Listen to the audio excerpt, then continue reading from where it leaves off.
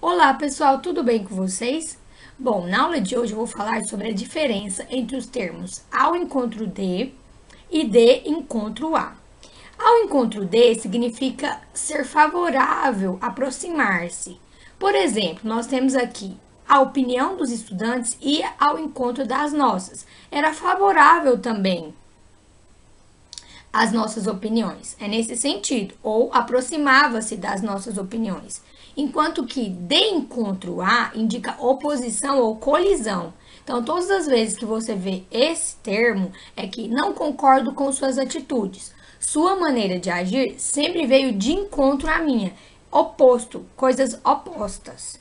Então, lembre-se, quando for ao encontro de, significa aproximar-se ou ser favorável. E de encontro a é totalmente diferente, é colisão, né? É essa colisão entre termos.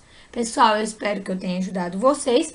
Um beijo. Não se esqueçam de curtir e compartilhar os meus vídeos. Se vocês também quiserem deixar sugestões para os vídeos, isso é bom para que o canal possa se tornar cada vez melhor.